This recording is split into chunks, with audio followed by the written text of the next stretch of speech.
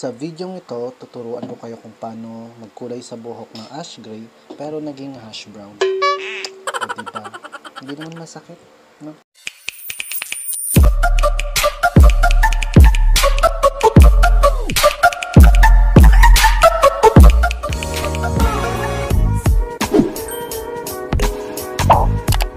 All is well, Wincers. It's Ali and welcome back to my channel. At kung bago ka lamang sa aking channel, mag-subscribe ka na at i-click ang notification bell para updated ka sa aking mga videos. O di ba parang acne? Pa-intro-intro pa yun, kala mo daming viewers. Dito ine-explain ko na gusto ko talaga magpakulay ng buhok na kulay ash gray.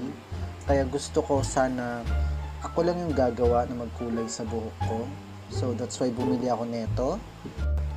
So ito yung oxidizing binigay lang ng friend ko at itong isang kulay na dust binigay lang din sa akin. Ito yung unang ipapatong ko para do kumapit yung kulay na gusto ko talagang ilagay sa buhok ko. Then ito syempre binili ko yung metallic gray from Shopee. Syempre, kailangan natin ng lagayan at suklay para sa ating mixture. And of course, gloves para hindi madumihan at kumapit yung kulay sa ating balat. Ayan, una kong minix yung oxidizing natin. Then, ipap- ilalagay ko din dyan yung ating dust. Ayan. Syempre, gamit na siya kasi binigay nga lang sa akin, ba? Ayan, nag-explain ako rin na ganyan kung anong kaartihan yung pinaggagawa ko sa buhay. Ayan, minix ko na siya ha sa dust. I, I mean, minix ko na siya sa oxidizing natin at inuna kong nilagay at minix itong dust. Ha? What? Siyempre, gets nyo na yun, di ba? Matalino kayo eh. Ayan, ang tagal ko maghalo. May pa-explain-explain pang nalalaman. Pero kailangan nating madaliin to para hindi na kayo maboring sa video na to. Una kong nilalagay ngayon yung mixture ng dust at oxidizing. Sabi ng friend ko na ganun nga daw ilalagay kapag hindi ka gagamit ng bleach.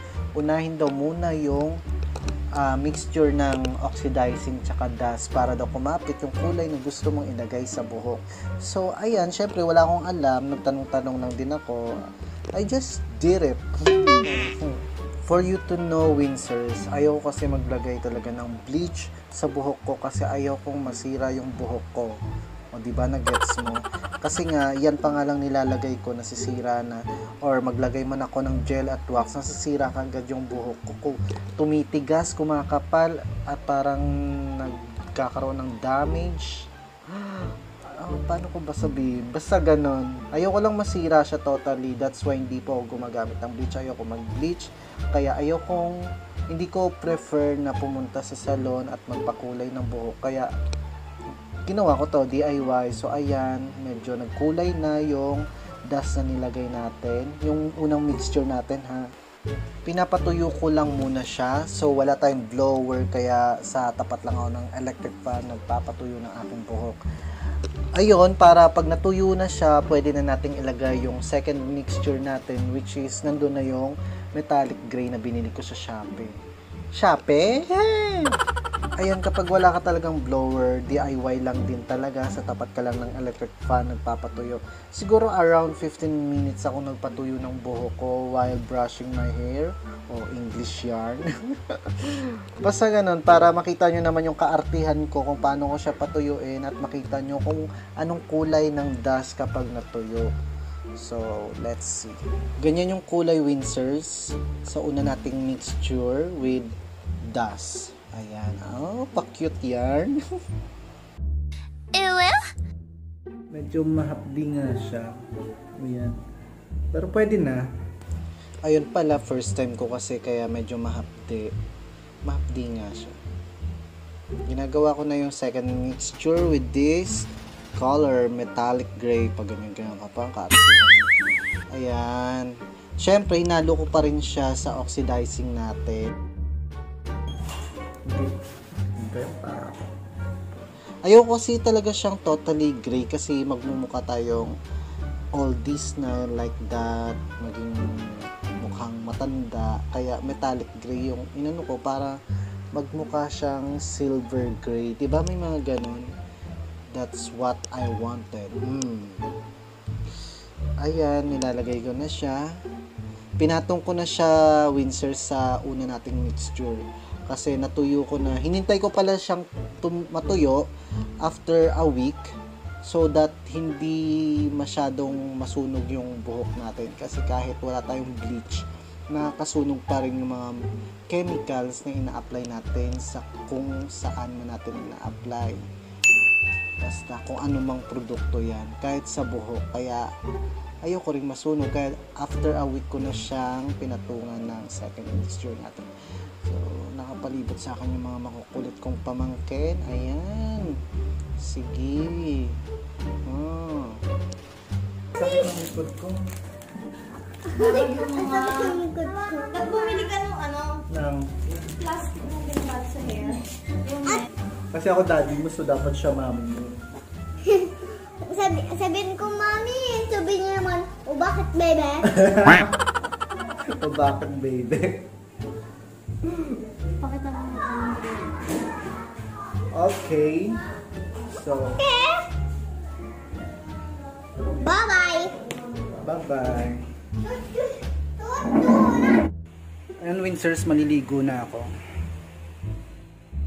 Oh, shit. Ang pogi ko. I love myself. Ah, kaso, di nga lang tumalab yung kulay. Within that week, meron akong practice ng sayaw together with my friends para nga sa dibu ng kapatid ng kaibigan ko. So, ayun, plano ko, papatagalin ko ulit ng isang linggo yung buhok ko para patungan ko ulit ng second mixture which is yung metallic gray para baka baka kasi tumalab na siya kasi hindi tumalab yung una nating nilagay kaya baka next na patong is tatalab na ayun shoutout nga pala kanila Erica, Tyzak and Shai who in the house? Wow! So ayan feeling cute tayo dito. Pwede na. Ayan ganyan mga tropa ko mga baliw. Char. So ayan, binidyohan ko sila para may reference ako na pagagayahan ko kasi hindi ko nakabisado yung sayaw namin. Kaya binidyohan ko sila pero sinama ko na rin dito para naman may exposure sila, di ba? So ayan, Winters, pauwi na kami. Kala ko naman picture ko pala. Dahil picture tayo. Ay, picture. Chay. Mali yun.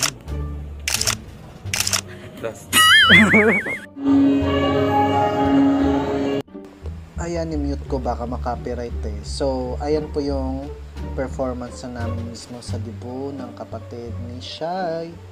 So, um, medyo nagkakamali kami pero uh, energetic naman kami so far. Siguro naman nakikita nyo. Medyo complicated lang siyang tingnan kapag hindi kayo mahilig manood or sayawin yung mga ballroom dances like that. So, isa yan sa mga dances namin nung college with PDE. So, PDE members din po kami. Isa po siyang organization or club sa school namin, nung college. Ayan o, diba? Ang ganda ng mga steps, I swear, pero nagkakamali kami dyan. Kasi nga limot na namin after um, three years, like that. ang saya ng experience ko that time. So, I'm so happy na parang nag-reunite ulit kami mga PDE. Thank you so much. What's up, Winsers? So, ayan nga. Ito yung kinalabasan ng ginawa kong pagkulay. Hindi lumabas yung resulta ng gray. Yung gusto ko talagang kulay. Kaya gagawin natin, Winsers, is papatungan natin ulit siya ng gray. So, para makita natin kung talagang tatalab na ba siya. Dagdagan ko to. Humingi ako ng tulong sa isang Wonder Pet. Ah, char. I mean, sa pinakamaganda at pinaka-sexy kong pamangkin, si Jane. So, syempre, uh, sinusuportahan niya ako sa mga kalokohan ko tulad nito. Kaya siya lang ang katuwang ko pagdating sa mga ganitong bagay. Ayun, ito na yung pangalawang patong natin sa buhok ko para sa mixture na gray na sana mag-success at tumalab yung gray na inaasam-asam ko na kulay. So, disappointed pa rin ako kasi yung kinalabasan niyan after ng pangalawang patong ay ito. There you are, Winsers. Tingnan nyo.